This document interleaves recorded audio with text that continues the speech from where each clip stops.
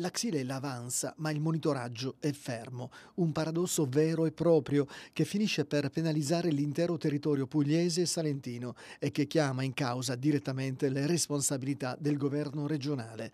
Il batterio, che ha già contagiato oltre 21 milioni di piante, provocando un crollo produttivo del 75% nella provincia di Lecce, del 20-25% in quella di Brindisi e del 15% in quella di Taranto, continua ad avanzare al ritmo di 10 km l'anno. Ma per il presidente della regione Puglia, Michele Emiliano, è un danno limitato e contenuto. Io credo che bisogna rispondere con grande onestà e chiarezza a dichiarazioni di questo tipo, che a mio parere, e a parere di molti operatori del settore, sono veramente gravissime.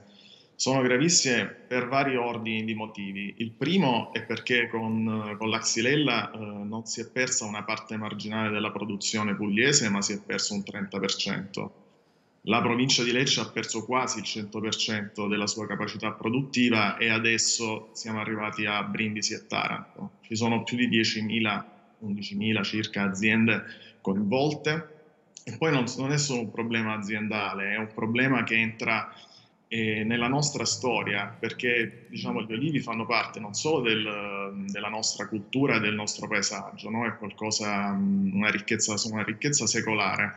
E, e però l'onda lunga di questa, di questa incuria e, e, e, di questa devastazione colpisce la nostra economia a tutti i livelli, non soltanto a livello agricolo, che comunque già sarebbe grave, ma eh, l'immagine del nostro territorio e dell'incuria che c'è adesso in questo diciamo, deserto, no? che vedono i cittadini tutti i giorni eh, mentre si muovono per lavoro o per svago e, e vedono anche i turisti. Ora è chiaro che un territorio del genere eh, perde in ricchezza e perde appeal. Intanto i monitoraggi sono fermi al 30 aprile, giorno in cui è scaduto il contratto degli assistenti fitosanitari che hanno il compito di verificare se e quali alberi di ulivo siano stati contagiati dal batterio.